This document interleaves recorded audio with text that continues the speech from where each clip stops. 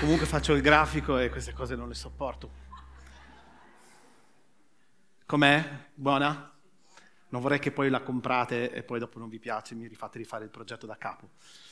Ok, se dipendesse da Obelix, innanzitutto sono veramente molto contento di essere sul palco del TEDx, perché io sono un grande appassionato di TED Talk, me li guardo da tantissimo tempo, mi piace il fatto che ci sia eh, un sacco di idee e di cose che eh, prendo, eh, ascolto, le, le idee arrivano, si raccolgono e poi si danno ad altri, le idee non sono nostre, le idee vanno sviluppate. E poi mi piace tantissimo il TED eh, perché è un po' come un concerto punk. Perché quando tu sali su un, un palco, non importa se sai suonare, è quello che c'hai nella testa che conta, l'idea che stai in quel momento portando fuori. E un altro tipo di TED eh, che mi piace tantissimo è questo. Questo è stato il mio primo TED Talk da bambino non sapevo leggere, guardavo le immagini e mia mamma mi raccontava delle cose. Ed effettivamente, se avete mai pensato, se ci fosse stato un link tra un concerto punk e vostra mamma che vi leggeva le storie da bambino, ok, il TED, TEDx è questo. Quindi siamo di fronte alla forma proprio base della comunicazione. Immagine e una persona che legge per conto tuo quello che ha da dire. E poi ci sono le idee, e le idee sono un mondo incredibile fatto di cose eh, difficili da capire, difficili da intuire, eh, che alle volte arrivano soltanto perché ci mettiamo lì a guardare le cose da un altro punto di vista. Le idee contro la creatività. In questo bellissimo libro di Bruno Munari, che è una specie di mio vate, di tutor illuminato, eh, che si intitola Da cosa nasce cosa, eh, lui prova a spiegare esattamente qual è la differenza tra le idee, che spesso sono belle, ma sono appunto delle idee, certe volte sono irrealizzabili. È un po' come, un po come di decidere di distruggere una montagna, ok? È difficile distruggere una montagna. La creatività invece non cerca di distruggere le cose, eh, appoggia l'idea, ma cerca un, motivo, un modo creativo per salire su questa montagna. La creatività gira intorno all'ostacolo, gira intorno alle montagne, un po' come quelle stradine no? a cui arrivi un po' alla volta per arrivare nel villaggio che volevate. Queste sono delle calze da donna, l'ho disegnate io, ho fatto tutti i, i cosi da solo. Sono delle calze da donna e una volta Bruno Munari, per questa cosa delle idee che sono un po' un certo modo di vedere le cose da un altro punto di vista, arrivò, si racconta che Bruno Munari eh, arrivò in questa fabbrica di calze da donna e disse al capo, tipo, voi avete mai fatto delle lampade? Il capo di questa calzatorificio dice, no, ecco, da, da ora li farete perché Falkland è una, una, un'idea che avrebbe Bruno Munari prendendo la maglia, appunto, come mi suggeriva Sara, e che, come si chiama il tessuto della, delle calze, per creare poi queste lampade. Da cosa nasce cosa? La creatività serve appunto per vedere gli oggetti, le calze da un altro punto di vista. C'è un'altra bellissima, non so se avete visto Forrest Gump? Ok, grande. Io sono, non so se hai visto, ma sto andando un pochino, apro un sacco di parentesi, ma poi le chiuderò tutte. Ok, Forrest Gump c'è questa scena incredibile dove lui a un certo punto del film decide di fare avanti e indietro correndo per eh, gli Stati Uniti e si avvicina a una persona con un grosso problema. Lo so, ho detto che avrei riso sempre a questo momento, ma mi fa sempre ridere. Questo è un tipo che si è comprato uno stock di magliette gialle e non sa cosa farsene. E allora ha quest'idea di andare da lui a chiedergli un disegno ma non sa disegnare o una fotografia ma non ha una macchina fotografica perché eh, ha questo bisogno di capire come destinare queste magliette.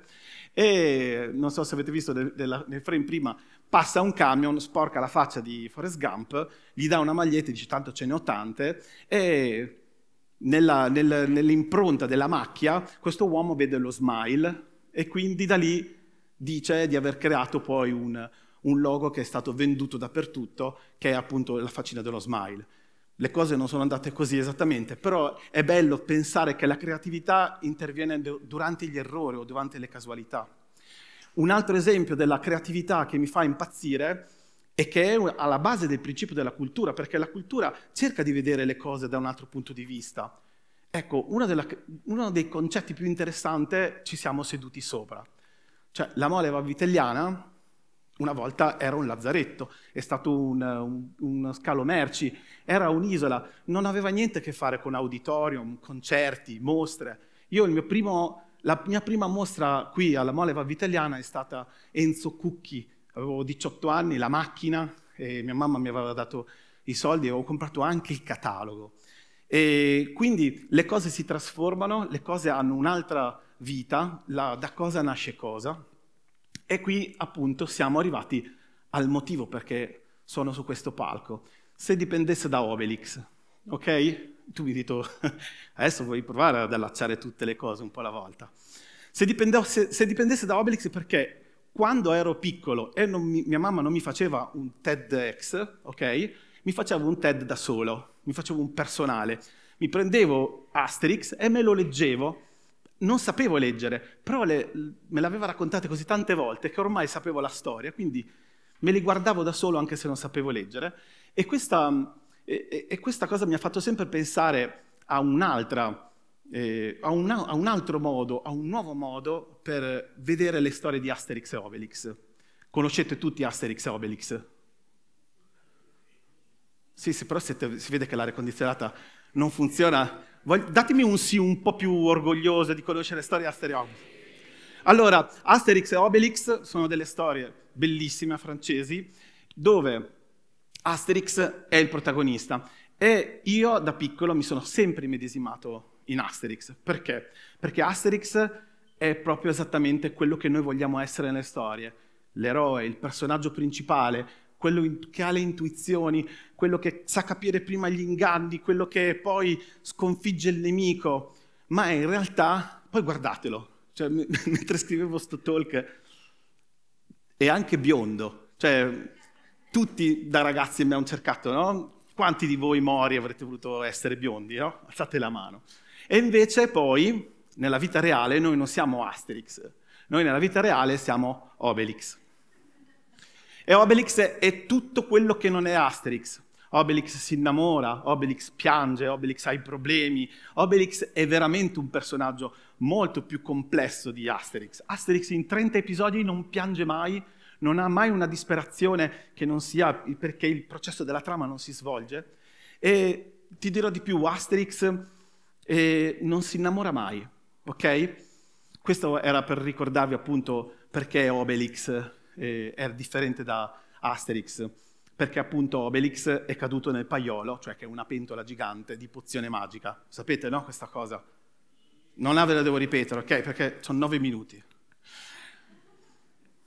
Guardate questa qui mi fa impazzire quando fa Obelix dice il guaio e che sono timido, dopo aver ammazzato di botte un gruppo di romani che si erano seduti su quei fiorellini che voleva dare a Falbalà, che poi in realtà, come lui vedete, gli dà questi fiori, poi scopre che il suo fidanzato, Tragicomics, che è bellissimo già il nome, fumetto tragico, e, e quindi piange perché appunto, mamma sono infelice, perché appunto in questo momento lui è innamorato e non sa come gestire questa emozione. Poi quali altri problemi ha Obelix?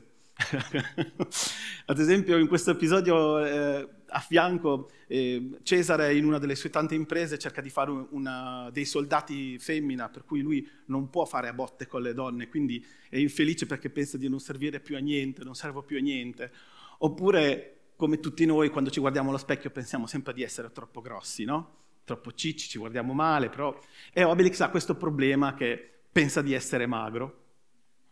Ok? E, ehm, e, questa è un'altra delle situazioni in cui mi fa impazzire perché in questo episodio Asterix capisce cosa sta succedendo e Obelix no. Obelix non, non, non, è fuori proprio da, da, da, da, intuire cosa sta succedendo e poi si fa vicino ad Asterix e dice sì però dopo mi spieghi cosa è successo perché io, sai, quando combatto almeno vorrei sapere per quale, per, per quale idea sto combattendo in questo momento. Però, dicevamo prima, Obelix ha la pozione magica dentro di sé, lui non la deve assumere, lui è caduto nel, nel, nella pozione magica, per cui Obelix di per sé è sovrumano e lui ha i superpoteri. Volendo, lui potrebbe aspettare che Asterix finisca di bere la pozione magica, finiscano gli effetti della pozione magica su di lui, ok? E poi potrebbe sconfiggerlo. Può? È Obelix. Obelix ha i superpoteri.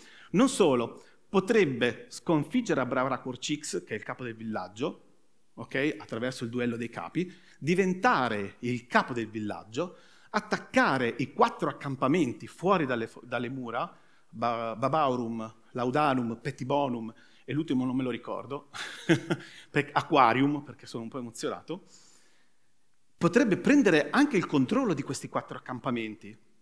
Ok? E poi cosa fare? Espandersi, arrivare a Condate, poi a Lutezia, che sarebbe Parigi dell'epoca, riunire tutte le tribù galliche in un unico e solo capo, Obelix. E poi, una volta che tu sei, poter- sei il potere in assoluto in, del, nel mondo, tu che hai superpoteri, perché no? Attaccare l'impero romano, arrivare fino a Roma, destituire Cesare e diventare tu stesso Cesare. E invece, cosa fa Obelix? Obelix fa menhir. Obelix è uno scultore. Obelix, con i suoi superpoteri, fa delle cose che ancora oggi gli studiosi di archeologia non sanno che cosa servono. Pensateci, guardate questa immagine, l'ho dovuta ridisegnare perché non volevo scrivere il copyright. Ok? Stonehenge è fatto di tanti menhir, dolmen e menhir, che ancora oggi non sappiamo a che cosa esattamente servono. Ok? Quindi Obelix è uno scultore e coi superpoteri fa delle cose che non si capiscono. E che sono le cose che noi non capiamo e sono gigantesche e di solito ce le mettono nelle piazze? L'arte contemporanea. Ok? Obelix con i superpoteri fa arte contemporanea. Ok? Questo è Calder e là c'è Brancusi. Ho scritto C Calder e ieri sera stavo scrivendo B Brancusi. Quindi, riassumendo, se hai superpoteri, Obelix potrebbe diventare Cesare e invece Obelix, con i suoi superpoteri, decide di fare arte. Quindi chi ha i superpoteri fa arte. E il messaggio, dove lo metti il messaggio? Infatti questa puntata è bellissima perché Asterix deve riempire quel paiolo di soldi, però eh, decidono di fare teatro e a un certo punto Obelix è preso malissimo perché in quel momento sta dicendo e il messaggio, dove lo metti il messaggio? Lui deve salire sul palco e dire qualcosa, però non ha niente da dire, ok? E allora lo dico io al posto di Obelix. Se dipendesse da Obelix non ci sarebbe la guerra, perché Obelix non farebbe la guerra e con i superpoteri si fa arte. Grazie.